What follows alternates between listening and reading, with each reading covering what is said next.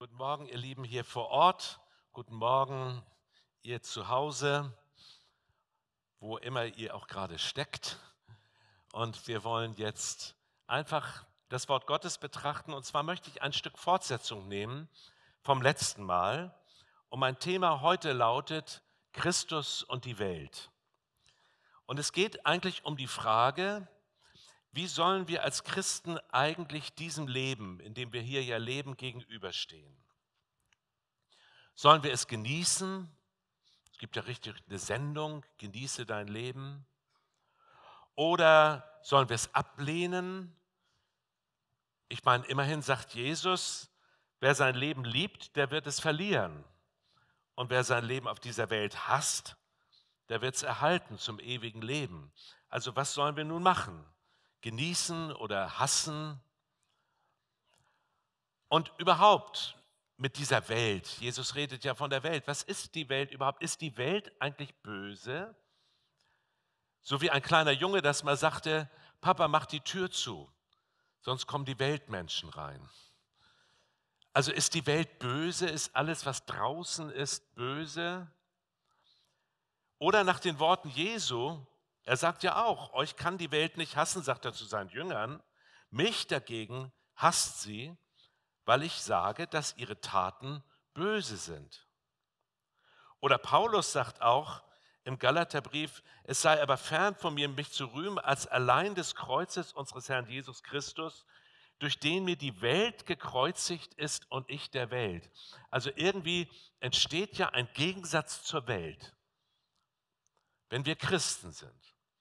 Das, das funktioniert anscheinend nicht zusammen. Welt und Christus. Die stehen sich irgendwie gegenüber. Ist die Welt jetzt böse? Was ist überhaupt die Welt?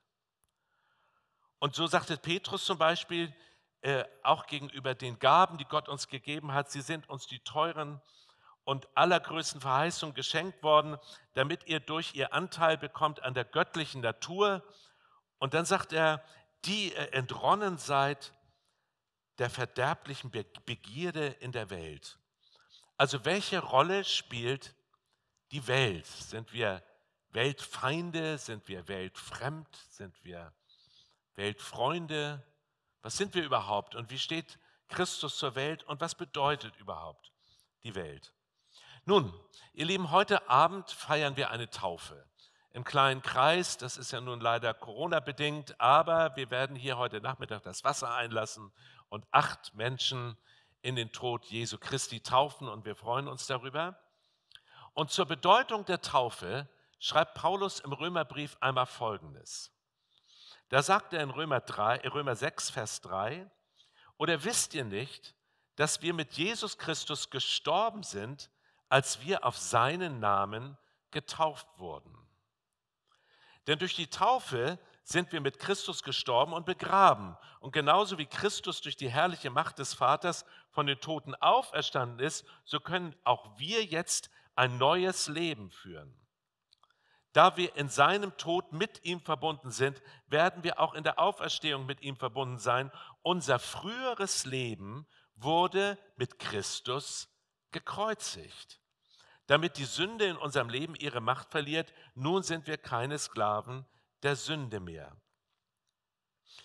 Ja, also immer dieser Kontrast. Christus und die Welt sind irgendwie inkompatibel. Äh, und auch wir, wenn wir uns taufen lassen, dann bekunden wir oder bekennen wir, dass wir jetzt mit Christus gestorben sind. Das heißt, dass unser altes Leben jetzt nicht mehr existiert. Wir leben zwar noch hier, aber wir leben jetzt für Christus. Wir leben jetzt in einem neuen Leben. Was ist damit gemeint? Wir leben doch auch in dieser Welt. Was bedeutet die Welt? Und ich möchte es einmal versuchen näher zu erklären. Also wenn wir einmal unsere Augen auftun, dann sehen wir ja im Grunde genommen erst einmal, es kommt gerade darauf an, wo wir sind, aber so im Großen und Ganzen sehen wir die Schönheit der Welt. Wir sehen, wie schön sie ist, wenn wir verreisen, wenn wir ans Meer fahren und so die Weite des Meeres sehen, am Strand sitzen oder in den Bergen und dann so diese erhabenen Berge und diese ganze Schönheit, diese Pracht sehen. Da hat ja jemand auch mal ein Lied geschrieben, du großer Gott, wenn ich die Welt betrachte. Ne, und da besingt er eigentlich die Schönheit dieser Welt. Also er besingt so gar nichts Böses, sondern die Welt ist ja Gottes Schöpfung. Sie ist ja schön, aber ich dachte, sie ist böse. Was, was ist denn jetzt mit der Welt? Ist sie jetzt schön oder schlecht? Gut oder böse? Also ich denke, um es deutlich zu machen, natürlich ist diese Welt, wie Gott sie geschaffen hat, wunderschön. Das hat er ja schon in der Schöpfungsgeschichte gesagt. Und siehe, es ist gut. Und als er den Menschen schuf, sagte er sogar, und siehe, es ist sehr gut. Die Welt ist schön und der Mensch ist auch schön. Aber was auf der anderen Seite mit der Welt gemeint ist in der Bibel, das ist jetzt, sind jetzt nicht die erhabenen Berge und die schöne Natur, sondern das ist ein System. Ein System, ein Geist. Und zwar etwas, was die Menschen und überhaupt die gesamte Schöpfung knechtet. Also die Bibel nennt das Sünde. Und Sünde heißt, um es nochmal genau zu erklären, Sünde heißt Zielverfehlung. Also ein System, was dazu führt, dass wir und die gesamte Schöpfung das Ziel, also der, das, worauf eigentlich alles hinausläuft, da, wofür Gott uns geschaffen hat, dass das quasi verfehlt wird dass wir daran vorbeirasen. Das ist wie wenn man eine Mission zum Mars macht und die Rakete jagt am Mars vorbei. Äh, ist zwar eine tolle Rakete und was weiß ich, aber sie hat das Ziel verfehlt. Sünde heißt Zielverfehlung. Und es steckt ein System in dieser Welt, und zwar in uns allen, steckt ein System, was alle Menschen uns eingeschlossen, versucht dahin zu bringen, unser eigentliches Ziel, wofür wir leben, wofür wir da sind, zu verfehlen. Und das nennt die Bibel Sünde. Das sind jetzt also nicht nur moralisch schlechte Dinge, sondern das ist ganz schlicht die Zielverfehlung, dass wir an dem Ziel vorbeijagen. Und das Ziel, das wissen wir Christen ja genau, das Ziel ist Christus. Er ist das A und das O. Er ist der Anfang und das Ende. Auf ihn läuft alles hinaus. Und wenn wir ihn verfehlen, dann verfehlen wir das Ziel, wofür uns Gott geschaffen hat. Aber wir sehen auch, wie dieses System im Grunde genommen Böses erzeugt in der Welt. Also man hat sich ja immer versucht zu erklären, woher das Böse kommt. Und die meisten Menschen haben eine Erklärung, die ungefähr so lautet, von mir schon mal nicht, sondern von irgendwo anders, irgendwelchen anderen, also irgendwo muss es ja herkommen und diejenigen, die an das Gute im Menschen glauben, die finden darauf auch schwer eine Antwort. Sie sagen dann, durch die Umstände kommt das Böse. Ja nun gut, aber die Umstände erzeugen wir ja mit, sogar sehr stark. Also wo kommt das Böse her? Und wie das Böse funktioniert, das sehen wir zum Beispiel in der Pandemiezeit jetzt ganz deutlich. Ganz am Anfang, erinnert ihr euch noch, waren wir alle solidarisch. Da haben wir gesagt, Bundeskanzlerin Merkel sagte, es ist sehr gefährlich, wir müssen uns alle zusammenreißen, wir müssen jetzt alles runterfahren. Und wir haben alle mehr oder weniger, aber fast alle haben da richtig mitgemacht und waren alle solidarisch. Aber so im Laufe der Zeit ist plötzlich mehr und mehr jeder sich selbst der Nächste. Oben in der Politik, die lieben Ministerpräsidentinnen und Präsidenten. Und auch im privaten Leben, die Quer- und die Vor- und die Nachdenker und was weiß ich alles. Äh, jeder ist sich plötzlich selbst der Nächste, jeder erfindet sein eigenes System die Länder sind nicht mehr solidarisch miteinander, das waren sie ja schon bei der Flüchtlingskrise nicht mehr, sondern sie waren sich plötzlich selbst die Nächsten. Deutschland, wo wir doch immer sagten, wir wollen solidarisch mit Europa sein, wir kaufen jetzt Sputnik V äh, und so weiter. Also irgendwo ist sich jeder selbst der Nächste und sieht zu, dass er das abgraben kann, was er abgraben kann Und im Grunde genommen interessieren uns auch die Flüchtlinge gar kaum mehr auf dem Mittelmeer und uns interessieren auch nicht die Entwicklungsländer, wie viel Impfstoff die haben oder so. Es gibt zwar Gruppen, die sich dafür interessieren, aber so im Großen und Ganzen wollen wir erstmal haben. Und wir merken, wie das Böse in der Pandemie allmählich durchsickert. Und wie umso länger die Zeit äh, ins Land geht, umso mehr kommen wir plötzlich in Ressourcenstreitereien wollen das Beste abhaben, wollen das Beste bekommen, wollen nicht quasi daneben liegen, fallen gelassen werden. Und so fangen dann die Kämpfe an. Erstmal sind es dann Wirtschaftskämpfe oder was es auch immer sei. Und wir merken so allmählich, wie das Böse, was nämlich das Ziel verfehlt, und das Ziel der Pandemie ist, dass wir sie besiegen, war ganz einfach. Ne? Und wenn wir sie nicht besiegen, weil wir völlig diffus und durcheinander sind, dann haben wir das Ziel verfehlt. Und das ist böse. Das ist böse. Selbst wenn Leute meinen, es gut zu meinen, wenn das Ziel verfehlt wird, ist es böse. Wenn ich jemand ins Steuer greife und meine es gut und das Auto kommt ins Schleudern, dann ist das Resultat böse. Selbst wenn ich es gut gemeint habe. Also wir merken, wie das Ganze so durchsickert. Oder ich will mal einige Beispiele nennen. Da gibt es zum Beispiel den Wunsch, die Schöpfung zu bewahren. Das hören wir ja öfters. Wir müssen die Schöpfung bewahren. Warum sagt man überhaupt, dass wir die Schöpfung bewahren müssen? Weil wir sie zerstören. Also wir sagen, wir müssen die Schöpfung bewahren, weil sie permanent zerstört wird. Das heißt, wir zerstören Leben, anstatt es zu erhalten.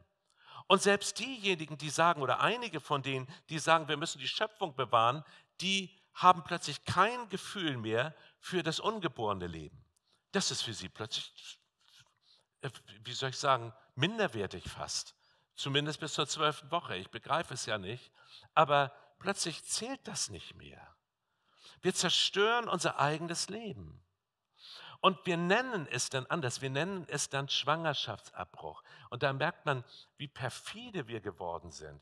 Wir nennen es Schwangerschaftsabbruch. Das müsst ihr euch mal überlegen. Wir zerstören ein werdendes Leben und nennen das Schwangerschaftsabbruch.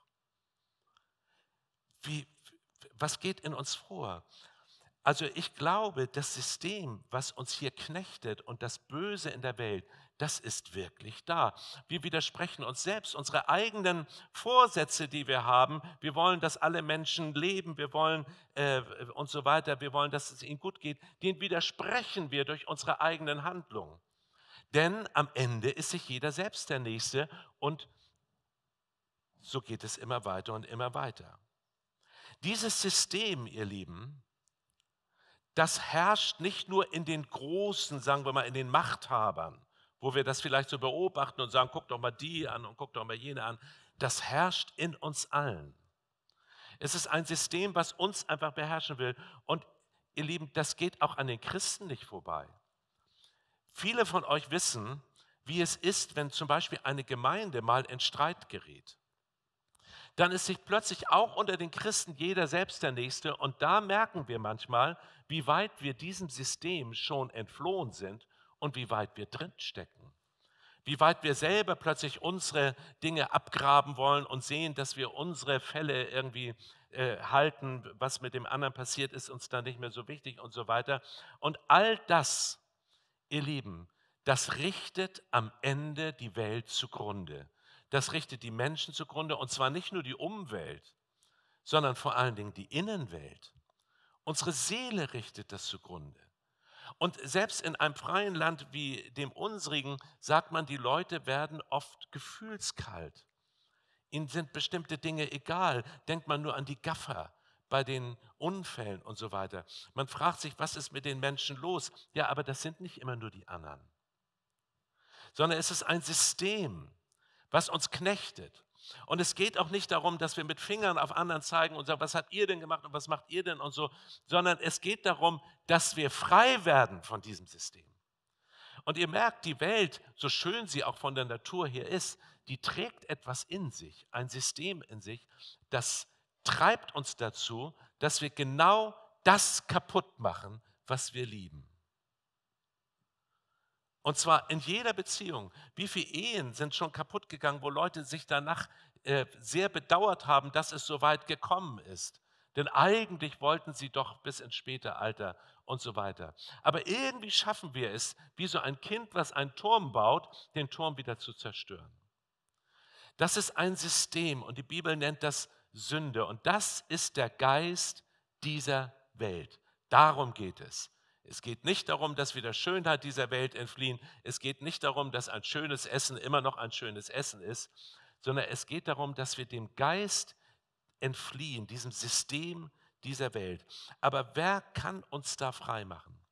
Und das größte Gift, ihr Lieben, was quasi in dieser Welt existiert, das ist noch nicht mal, sind noch nicht mal die Fehlhandlungen, sondern das ist die Scheinheiligkeit.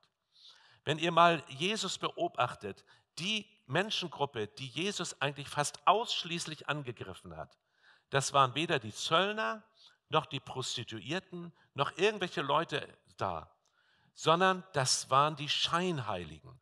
Das waren fromme oder frömmelnde Leute, die etwas sagten, was sie nicht taten. Die Scheinheiligkeit, dass man so tut, als ob man gut ist und in Wirklichkeit produziert man unter dem Strich, unter der Decke Böses. Und wir erleben das an allen Ecken und Kanten. Wir haben das in der Flüchtlingskrise erlebt, wir erleben das jetzt in der Pandemie, wir erleben das in so vielen Punkten. Und es ist kein Vorwurf, sondern es ist nur die große Frage, wie kommen wir da raus? Wie entfliehen wir diesem System? Denn es steckt in uns allen. Es steckt in uns allen.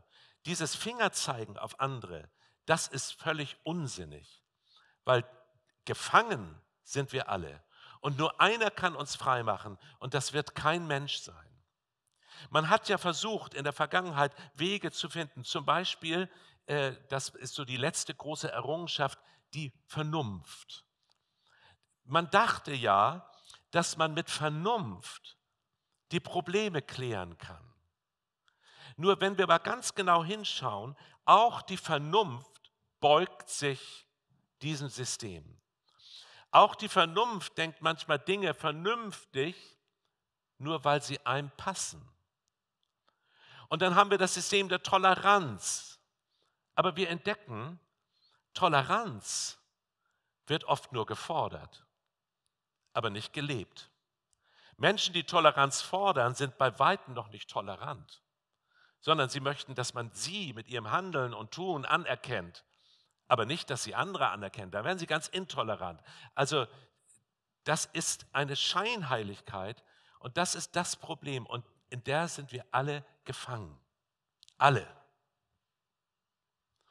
Und es gibt nur einen, der uns da rausholen kann. Und das ist Jesus Christus. Er ist der Einzige, der uns aus dieser Gefangenschaft herausholen kann. Paulus hat es selber so beschrieben. Er sagt, das, was ich will, das tue ich gar nicht. Er selber war gefangen in diesem System und hat das erklärt. Das ist auch so. Und wenn wir kritisch sitzen in irgendwelchen Talkrunden und sagen, was hast du denn schon wieder gemacht, was hast du denn schon wieder gemacht? Nein, nein, das ist nicht das Problem. Jesaja hat auch mal so geredet, ihr Heuchler und ihr diejenigen, die ihr da was macht und so weiter. Aber am Ende hat er gesagt, ich armer Mensch weil er entdeckte, dass er genauso ein Gefangener ist wie alle anderen auch. Wir sitzen alle in einem Boot, quasi auf einem Sklavenschiff. Und wer holt uns da raus? Wer holt uns da raus? Und das ist eben Jesus Christus. Auch die Vernunft kann uns da nicht rausholen, sondern es muss ein Herrschaftswechsel stattfinden. Ihr Lieben, wenn uns jemand beherrscht, dann müssen wir frei werden davon und dann muss ein Herrschaftswechsel stattfinden. Ich möchte das einmal erklären, wenn jemand zum Beispiel einen Vertrag gemacht hat mit einer anderen Person und die knebelt ihn nun äh, oder einer Firma und diese Firma knebelt die Person nun, die muss immer weiter zahlen und immer weiter zahlen. Habt, vielleicht habt ihr auch so ein paar Verträge gemacht, die sich dann immer alle Jahre erweitern und dann kommt man nicht wieder raus äh, und dann muss man immer schön weiter zahlen äh, und kann vielleicht nicht mehr zahlen. Und wenn jetzt jemand kommt und sagt, du pass auf, ich zahle dich aus. Ich zahle dich aus. Dann sind wir frei. Nur was machen wir mit der Freiheit? Unterschreiben wir den nächsten Vertrag? Das ist ja die Frage. Was kommt eigentlich hinter dieser ersten Befreiung? Und hinter dieser ersten Befreiung, die die Bibel Vergebung nennt, dass Jesus für uns bezahlt hat mit dem Tod. Er hat das, worauf alles hinausläuft, in diesem System, dieses ganze Weltsystem arbeitet nur auf den Tod hin. Wir wollen leben, aber es erzeugt Tod, Trennung und am Ende Tod. Das ganze System. Und dieses, diesen ganzen Tod oder diese vielen, vielen Tode, die hat Gott auf einen fallen lassen, nämlich auf Jesus Christus, sein Sohn, auch unseren Tod. Auch was wir erzeugt haben, wo wir mit dran beteiligt waren, bewusst oder unbewusst. Er hat es auf ihn fallen lassen. Er starb für uns. Jetzt sind wir frei. Aber was machen wir damit? Und jetzt geht es eben darum, dass wir bewusst diesem System entfliehen. Das heißt, dass wir die Welt quasi für uns kreuzigen und wir der Welt gekreuzigt sind, dass wir mit Christus sterben. Wir können nicht zwei Herren dienen. Wir können nicht diesem System dienen und Christus. Das geht nicht. Sondern wir können nur einem Herrn dienen. Und wenn wir diesem System entfliehen wollen, dann müssen wir in ein anderes System hinein. Und das nennt Jesus das Reich Gottes. Das ist etwas Wunderschönes. Es ist ein Reich, in dem Gerechtigkeit herrscht. Ein Reich, in dem Gott regiert, der es gut mit uns meint, weil er uns geschaffen hat, der eine gute Zukunft für uns hat, der es schafft mit uns, dass wir unser Ziel nicht verfehlen. Das ist sein Reich. Aber wir müssen uns diesem Reich unterstellen. Das heißt, Christus das Steuer unseres Lebens übergeben, aus diesem alten System raus. Es ist ein Denksystem, es ist ein, ein Herrschaftswechsel, den wir dann vornehmen.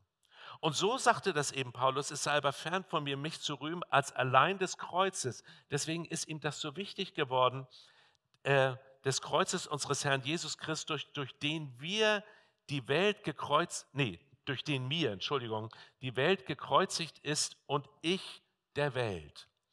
Es gibt einige Christen, die meinen, dass sie die Welt kreuzigen müssen.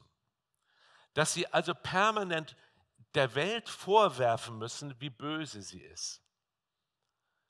Leider ist es so, dass häufig, das muss ich mit großer Traurigkeit sagen, Leute, die so reden, meistens selbst noch im System drinstecken. Denn das ist ja das Weltsystem, das Fingerzeigen. Das ist ja das System, dass immer die anderen schuld sind. Nein, nein, wenn wir dem System entfliehen, dann bitten wir Gott darum, unter der Herrschaft Christi zu leben. Dann verändern wir einfach unser Leben, egal was die anderen tun. Ohne ihnen etwas vorzuwerfen. Das ist nicht unser Ding, sondern wir wollen ihnen einfach nur sagen, es gibt einen Weg raus aus dieser Gefangenschaft. Und dieser Weg ist Jesus Christus. Das ist, das bedeutet das.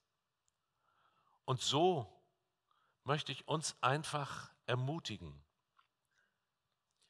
nicht nur die Vergebung Jesu in Anspruch zu nehmen, sondern die Erlösung.